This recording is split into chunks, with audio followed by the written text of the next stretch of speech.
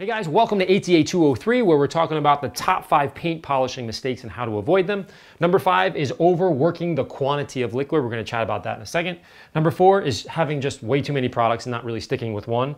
Number three, unclean paint. Number two, unreasonable expectations, meaning you're trying to do a Pebble Beach car and it's your first day detailing. That might be a challenge. And number one is residue control. How do you manage that amount of debris coming off the paint? So from a filmmaker perspective, this was really challenging for me to capture the mistakes uh, on camera and sort of demonstrate what's going on so that we can avoid them in the future. So we, we did the best that we could, Kevin and I. Um, we had a lot of questions from the crowd going back and forth. So I'm gonna hop in with me on the board here and then back out uh, into the classroom. And we're gonna use lots of demos. So be forewarned, there's lots of conversations and demos. But the concept here, if you understand this one, I think uh, 203 is probably one of the most impactful ones with respect to uh, polishing. So with that being said, let me do a quick little intro to number five, which is overworking the quantity of liquid.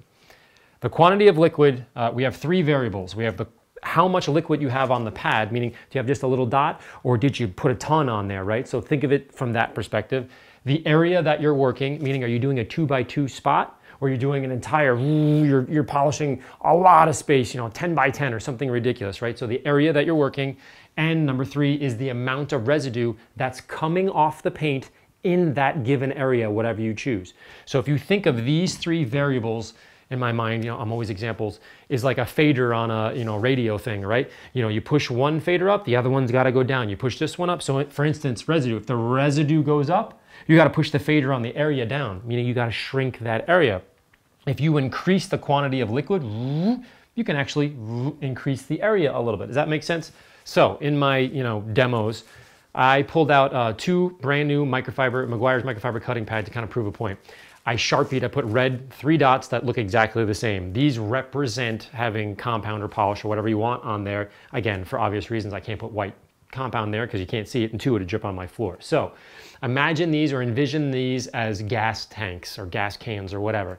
So I have three gallons of gas on each one of them and they're equal cars.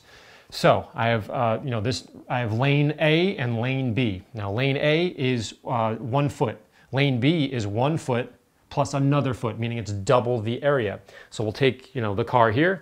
When I start the car up, you have three gallons of gas. Three gallons of gas are gonna get you this far. And you run out of gas right here. You wipe it off, it's good to go.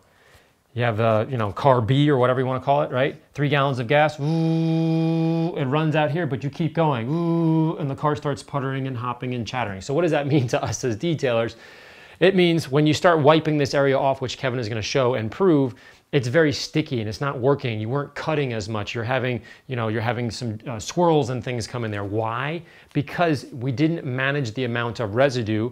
We ran out of the quantity of uh, liquid, meaning we overworked that liquid in a given area. So I'll stop there because this concept alone is massive and it took a long time for me to sort of understand that. But if you think about it as those three variables, it's gonna change the way that you polish. So I'm gonna hop quickly into the demo from Kevin and we'll, we'll jump back and forth, but I really hope uh, you guys like 203. It's a game changer. Thanks for watching.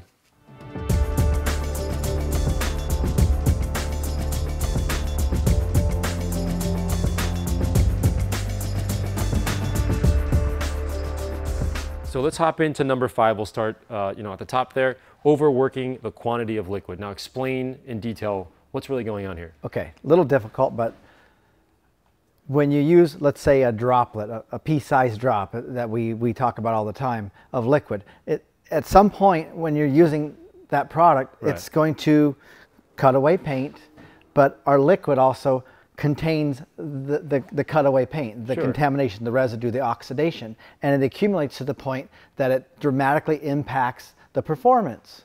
So that means it can impact how quickly it can cut and also how well it can finish out, meaning it, it can or cannot leave a perfectly polished finish. Right, like, so you know what, that's really the crux of it is the quantity of liquid versus the residue. That's right, it could, it could cause dusting, it can cause stickiness, it can cause chattering, hopping, scouring, scuffing, lack of cut, all kinds of things. Right, so we have uh, a board here, or, or, a panel. Now, the interesting thing about the, this, this panel is I'm trying to encourage everybody to go to your local body shop, right? We did. Say, hey, we did. We went across Very the street. Very local. yes, we went across the street, one of Kevin's friends, and said, hey, is it cool if we rummage through your garbage and find mm -hmm. something that's um, you know, suitable, yeah. Mm-hmm. reasonable, and of course a hood is always a good one. You can use door or whatever. Sure. Grab it, throw it in your truck, come home, and now you have a practice panel It's as great. opposed to just using. We're going to you know, do several tests on this one panel. All right, so show me, Okay, show me so the example here. I've already primed these microfiber pads, and I'm just using the random orbital polisher, cordless, and I'm going to apply But- three drops. Just just going to lightly smear it. Okay, so I'm going to start. I'm going to start right in the center. Okay, right here. Mm-hmm. I'm going to go that way. So here we go. One foot that way. One foot.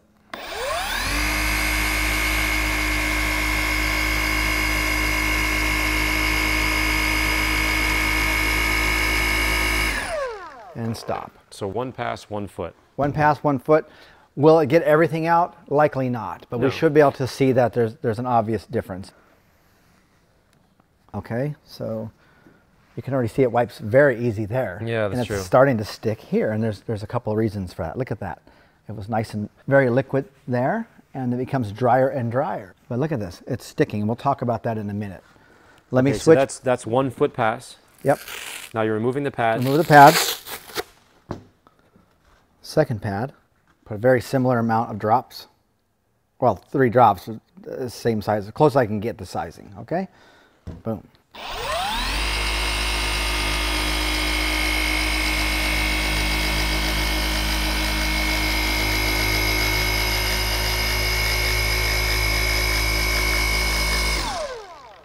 You could right, see so my now we've just increased. We've doubled the length. yeah, my pattern wasn't exactly perfect, but for the most part, we mimicked that and then we added in that extra foot. Got it. And this should wipe easily here and get progressively harder to remove. Oh, look wow, at that. Look at that. Mm-hmm. Oh man. So- thi- so this mimicked exactly the same here, and the increase in residue, meaning the distance, overwhelmed the amount of liquid. Right, and we didn't get a whole lot of cut there. It Just it didn't it didn't perform to the same degree as the first area. It's it's obvious where I'm s- uh, standing Right. that I can see pretty good, pretty similar. It's progressively similar. It's getting worse and worse and less cut. So Yeah, that's leave that on there so we can show that it's not coming off. It's not coming off and it's sticking, and we'll talk about that.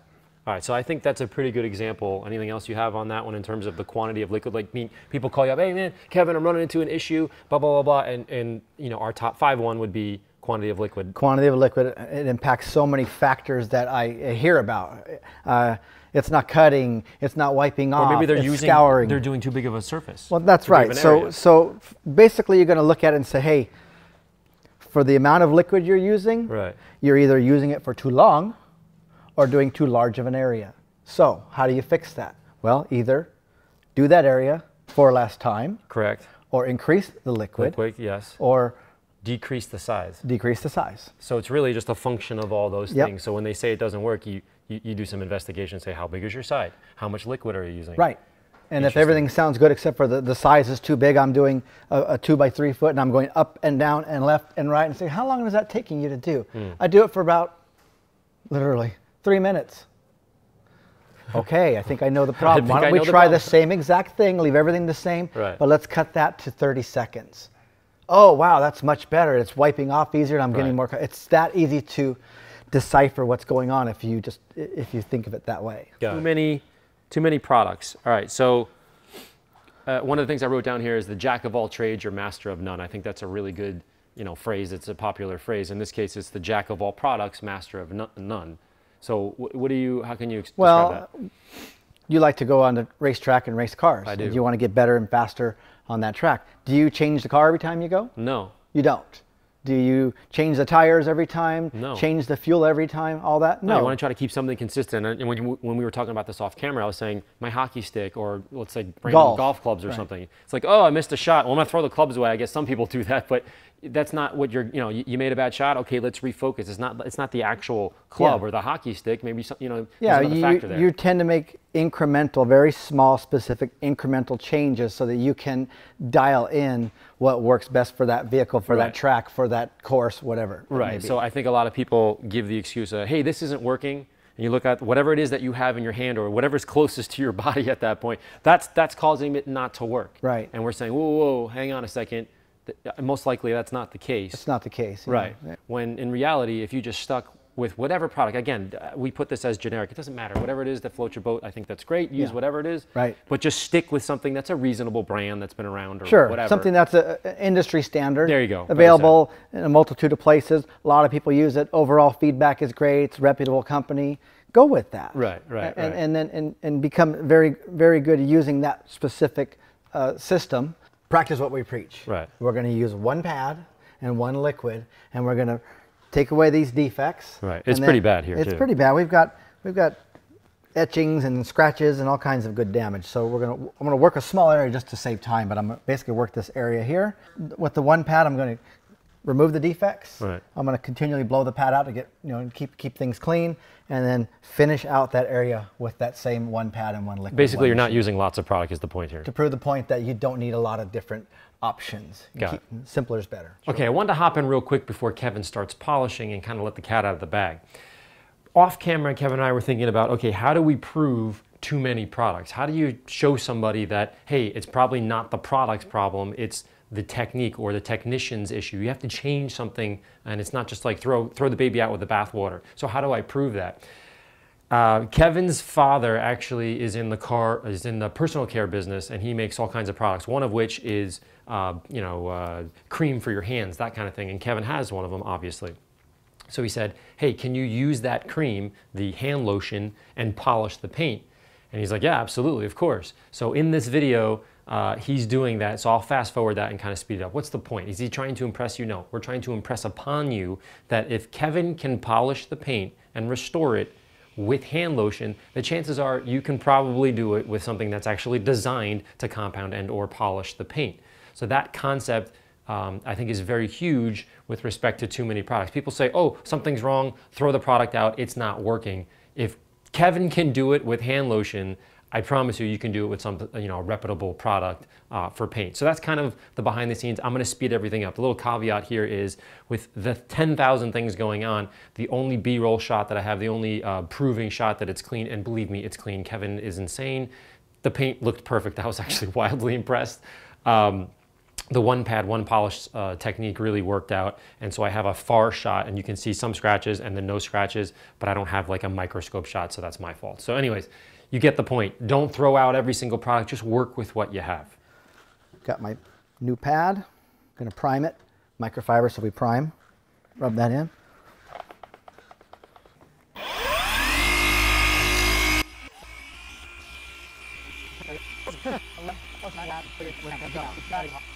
And, and blow the pad out quickly. Just a quick, quick burst. Thanks. Hold on to that. I'm not going to add any new liquid right now.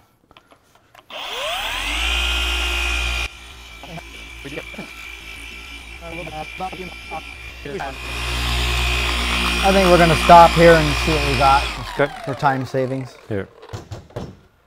Like, what are we trying to prove? Well, what we're trying to prove is that you don't need a vast array of compounds and polishes and pads, Pads. and machines. Just, just use a good system that, that works well, and Right. you can do a lot with it. The point is, is that if I can do this with a lotion, something was not designed to do this, and still get that kind of a finish with one liquid and one pad and one machine. Imagine when you learn to master a small system. Stick with the, the golf club that you have. Mm-hmm. Yeah. Learn it, practice it, master that particular thing you have. You may find a little tweaks here and there as you go along, but don't throw out the whole entire, you know, golf club bag or whatever Right. because you missed one shot. Does that make sense? I'm happy. I'm, I'm smiling inside because it's, so- it's so cool. There you go. There you go.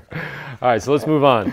We have number three, unclean paint. Right. We're talking about something that was applied to the vehicle or the paint to protect it. Mm-hmm. A wax, a polymer, a sealant, a detailing spray, and it's left behind an invisible barrier of, barrier of protection. But it also can affect the rate of cut. It can, it can encompass your abrasive grain, slow down the rate of cut. It Right. can it can kind of uh, smear into your pads and affect how those perform as well. because you're not actually touching the paint. You're writing on top of the surface of whatever it is, Yeah. the polymer, the coating, the wax, whatever it You're- is. You go, you go through the rain. If you go too fast, you start to hydroplane. Mm-hmm. This is essentially floating in inside that. It's being suspended by that invisible layer, or being, it's wrapping itself around your strands in your microfiber or against the face of your foam.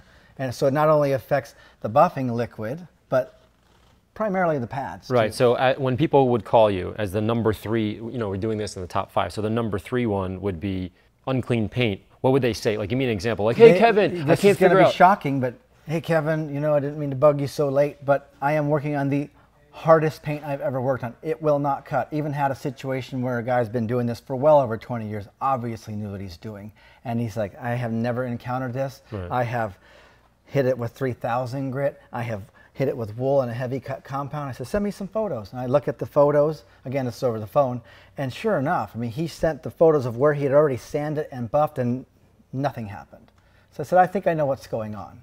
So, long story short, in a range of 20 to 25 minutes of trying different things, it was a layer of the car wash by the top of the line tunnel wash. You can get it washed, get the spray on protection. Oh, at the end, the little things that come yeah, down. Got the spray Okay. on protection that we all think is not very good.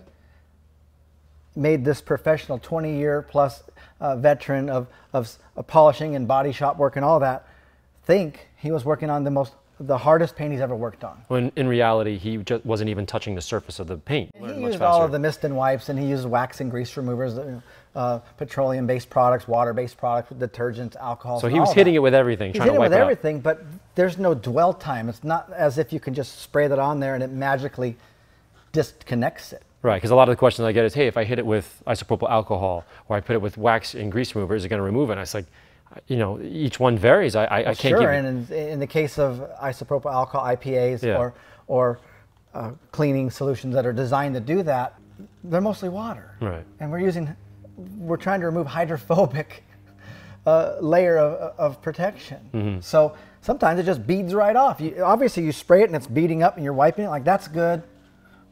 No, it just sat there for moments, and it didn't have any dwell time whatsoever. Mm. It didn't eat up. It didn't chew anything it that didn't. was on It yeah. didn't disconnect. It didn't. There you go. Integrate. It didn't. It didn't instill into that protective layer. Or remove it. So Right. here's our example. We have number three. What have we? What have you done over here? What we've done is we're going to do a similar type of a test, but in this case, this is raw or naked paint here. So we're going to go ahead and So we're 100% sure that when you put the polisher on here, you're actually touching paint. right. But in this case, we're going to use a sanding disc. Okay. Okay. We're going to sand this to show you that how quickly this will sand when the paint is naked, Mm-hmm. and then we're going to replicate what we did here down there. Down here, we've actually has, put something. I've applied a polymer sealant and a mist and wipe detailing spray. okay, and we're going to sand that again and see the difference between this one, see the difference naked in- paint versus unnaked Yeah, paint. if it's consistently cut, if it's deep, if it looks the same, or it's just skimming, we're going to be able to tell just by looking at that. All right, let's do it. Already see, look at that, it's immediately cutting. And consistent. See a little dust, Larry? Yeah. That's normal. And that's where you start getting that pigtailing or pilling if you don't clean that. Yeah, right there. But mainly want to show that rate of cut.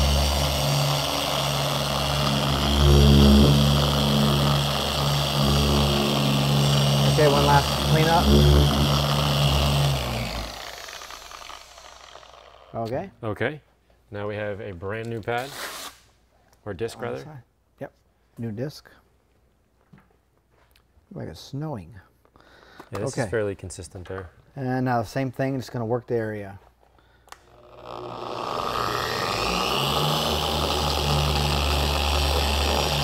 Wow, look at that. Yeah, you see it jumping? It's just skimming. And now we've, we've probably got some of that in our disc. Look at this. Yeah, inconsistent. See how quickly this one turned white because it's touching the clear coat. It's grinding away the clear coat. This one's having trouble getting through. And look at the pigtail. Look at that. Wow. You see how it's, it's peeling up? Now it's starting to cut. Look at that. It's starting finally to go. So now what's happening is we just cut through that top layer and we started to get naked paint. And clean up. Look at all that pigtail.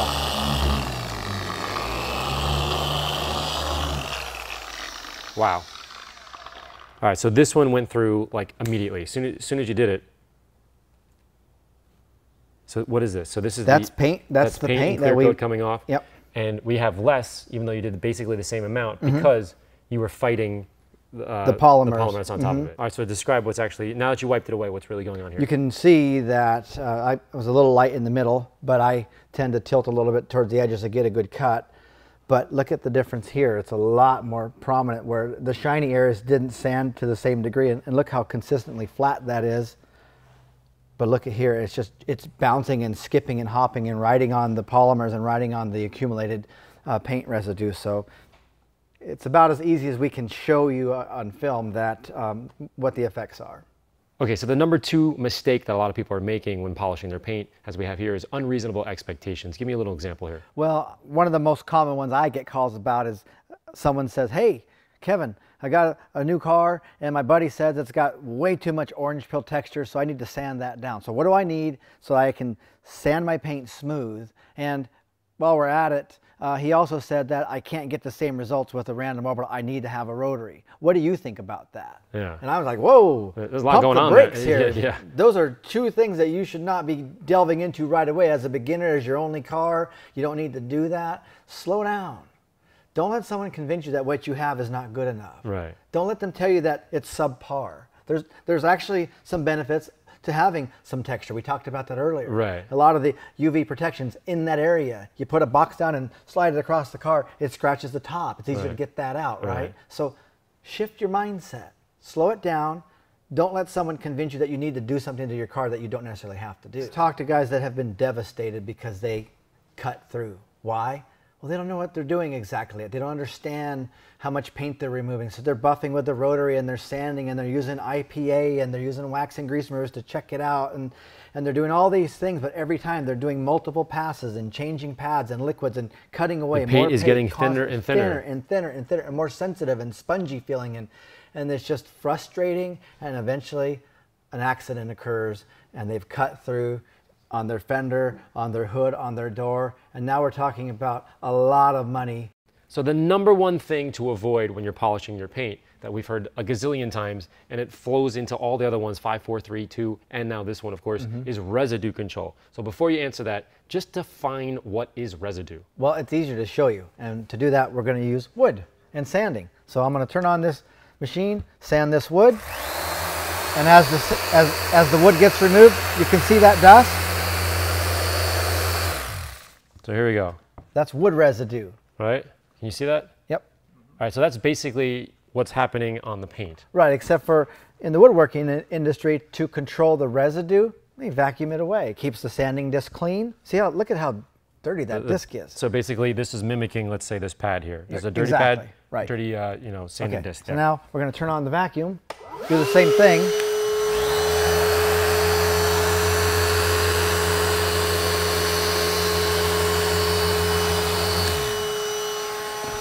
So now I take my hand, I and wipe look- it, And look at the disc. nothing on my fingers and nothing on the disc. So the dream come true is basically what you're saying. Hey, if we could create a paint polisher Polishing- that had a vacuum or something in it, It'd be great. That'd be great. great. But unfortunately, We don't have that technology Got right it. now. So our residue installs into the buffing liquid and onto the pads. So when we first start polishing, everything's as good as it's going to get. The compound is refined, perfectly sized and shaped. The pads are soft and contourable and fluffy and, and they don't mar the surface. But as you start to polish or you know compound or polish, you're getting paint you're grinding paint away, paint residue, and it's installing into the liquids and onto the pads. And this is actually a pad that I confiscated from somebody that was polishing with us, not sure why we're not getting scouring Yeah, or, or buffer hopping, or my, my rate of cut was greatly diminished. You can imagine by seeing that sanding disc how all of that wood is covering the abrasive grains and stalling the ability to cut. Right. So uh, maybe said another way, focus on working clean. Yes. We don't have the vacuums. Okay, we're living with that right now. Working clean is using a microfiber towel to clean the pad out, using compressed air to use the, you know, the pad out, your environment, every, everything. We talked about that earlier. It- Right. Don't work such big areas Right. or use more liquid if you're going to do a big area. So you're controlling the residue as best you can by keeping the percentage of residue versus your buffing liquid Right. low, right? So I would say the most uh, single impactful element uh, of something to avoid going forward when you see something's not you know not quite right Yes. would be residue control. I think after all this entire episode, if you if you're you know, If you take one it, thing away, one thing this away. is the number one thing that you should consider always. Absolutely. On the next episode, we're going to be talking about paint polishing machines and everything you need to know. That's Kevin. I'm Larry. As always, thank you so much for watching and stay tuned for more.